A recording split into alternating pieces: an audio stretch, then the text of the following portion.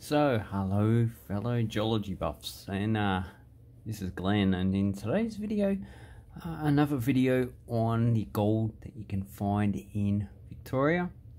So, hopefully one day I'll be able to do the other states, but now I'll just focus on Victoria as I'm learning this. So when I do these videos, I am still a learner, so hopefully basically we can find information. So here we have the goldfields. So this is from the Government of Victoria. And these are geological maps. So on the side we have all the geological maps. So we've got geology and slopes if you're interested in that. Uh, deep leads, which if you're looking for gold, uh, these maps have information about the deep lead. So here is the Castlemaine deep lead, and we'll look at that in a minute. Uh, but if I go back, so here, first things first, is that to go gold prospecting as well as other jewels, um, whatever you want to look for, even fossils, you need a miner's license. So here you go to the Victorian government get a miner's license it costs 25 20 uh, but this doesn't give you a right to go and dig for whatever you want anywhere. So you got a section on archaeological sites aboriginal places and objects. Uh, you can't use explosives. Uh, you have to use hand equipment. And you got some here. Uh, and the miner's license lasts 10 years. People under 18 don't need it. Uh, you can buy from other people, and uh, there should be a PDF of where you can actually go and dig. Uh, so that I will do in another video. So here, this is a good map. So this is from the State Library of Victoria. Just look up Victorian gold fields and you can actually come up with this map. Or you can uh, oh. Anyway so here we have in yellow we have the main gold field. So you got Ballarat you got Mount Korong and that is over oh uh, where did I look before? That is over here at, uh, so this part here in uh, Rheola around this area. So if I get it on, so around these parks area, so Rheola, that's the main epicenter, and this is the gold bearing area around here. Then you got Mackinvigo. Oh, you got Bendigo actually. That's a large gold stretch. Mackinvigo. And that's Puckapunyals up there. You got Seymour. Goulburn. So I'll show you those quickly. Uh, so we have Bendigo. So there's a large stretch going up north right through Bendigo itself. Then we got Seymour. Okay, where's Seymour? Okay. Ah, yeah. So you got uh, pretty much this triangle going around. Uh, and it goes Puckapunyal, but the Puckapunyal military base, obviously you can't go on it. You've got this areas around here. And the other area is around the Goulburn River. Uh, Okay, where is that dam I found? Oh yeah, so here's here's the dammed Goulburn River, Eildon, so around this area, I believe, and that would be the Goulburn area. Uh, and then we got Ovens. So Ovens would be where Ovens is. Okay, I'm not too sure. Ovens Vic. Oh, yep. So there you go. There's ovens. Let's have a look at the town. Hmm. it's just an area. Okay, so you've got the Ovens area, so Ovens River and its tributaries. So, oops, wrong one. So, uh, is that the Ovens River? Oh, there's the Ovens River. Yeah, so around this area. So, uh, I would say that's probably alluvial. So you've got a lot of these peaks here that are probably eroding the gold out of. So that is uh, another good place. So this is a good map. And this is from... So you've got the gold map. These are in miles, so you need to convert it to kilometres. Um, fixed circles of distance, 30 kilometres. And two gold mines. And this is date, does it have a date on it? The Diggers Gold Road Guide to the Gold Mines for Victoria. So a lot of the old, largest gold deposits have been found around here, in Bendigo and around Ballarat. And I think the largest one was what we're going to have a look at now.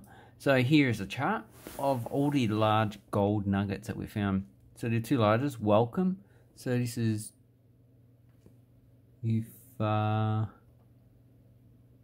didn't I oh I used this map. This is uh paint.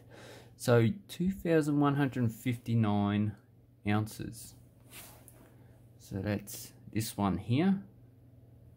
That has been melted down then we have the Welcome Stranger.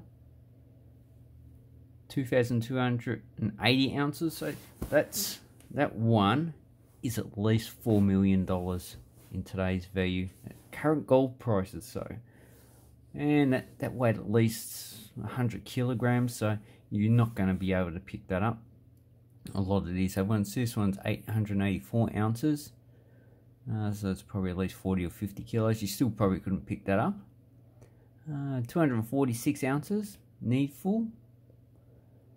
And you got 377 platypus. So it's probably 10, 20 kilograms. I haven't looked them up. And yeah, because I don't really use ounces, I'm not too sure what the actual weight. I need to times it by at least 31 grams. Uh, so 125 ounces. So how much is 125 ounces? It's 125 times 31 roughly. Uh, that's about 4 kilograms. So platypus, 377 times 31. Uh, so that's about 11 and a half kilograms. So uh, those ones are pretty easy. So 2280, uh, 2280 times 31. Oh, it's about 70 kilograms for that. But with the uh, other stuff on it, it was actually uh, 100 kilograms because you had ever sedimentary rock that they couldn't get off. And the various quartz, this is where you find the actual gold where there's actually quartz deposits. Lofa, 77 ounces. So this was in 1891. There have been a few found since then. Uh, another one is the Hand of Faith. So this is the most recent. It is uh, 875 ounces or 27 kilograms. So what's 875?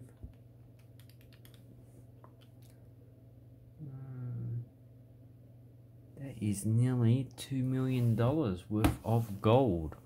Wow, so if you find one of these, oh, you become a millionaire, even if you pay 50% to the government in uh, tax, so you still make a lot of money. And that will set a lot of people up for life. So it is information. Wikipedia doesn't have information on most of them, but here is the the actual nugget itself. So it's still in existence. A lot of the larger nuggets have been melted down. So if you wanted to find the older maps, because a lot of the older fields are no longer worked or uh, people forgot about them, you need to go State Library of Victoria and it has information on gold mines and mining. So gold field places and then you got the uh, the book. Let's have a look at that. See what it says. Okay, and then you got Goldfield Registry, 1872 for Bendigo. Uh, and you got a lot of other places, so I won't go through it. Uh, it's just a good site. And then you got maps down here. Okay, ham squatting map Victoria. That would be very interesting. Okay, got Donnelly. So let's have a look at the 1870, oh, 1857. So squatting map, full screen, increase. So we've got the gold fields in yellow. And here I'm not, because, yeah, because I don't have the map, uh, I can't see much detail in that, so don't worry about it. Then we have, okay, Market Square. Hmm? It's just a town. I presume. So you need to actually go through these. Uh, so what did that say? Okay, maps can be helped to trace development of goldfield towns. Oh, so, so that was not a goldfield, it's just the towns. Uh, soil, rock, and geological geological water sheets produced by the Geological Survey Office especially good for this detail and they can be viewed online. So quarter sheets. Okay, you got 1860, so uh, okay, geological department. Yeah, so you need to find just a lot of different ones. Uh, but we won't worry about going through that. And what is this? Let's have a quick look at this book. Ooh, Gold Rush. Mineral Districts of Victoria. Goldfields. Yeah. So let's see contents. Okay, illustrations. Nuggets and alluvium. Uh, cement, quantity cement raised crushed quartz mining so so this is a good good for you if you want to go mining so obviously the techniques that you're going to be used if you go in there are the same as in the past you can't use machinery uh, so this will be a good uh, thing to look for. And this is interesting for me. Fossils found in deep leads. And let's have a look at the first content. So you've got granite, Paleozoic rock, Carboniferous rock. So it's got different rock types. So I might download this myself and read it. While I'm not interested in actually going gold prospecting, I am interested in the information of how the gold is uh, found or how geologically how it forms.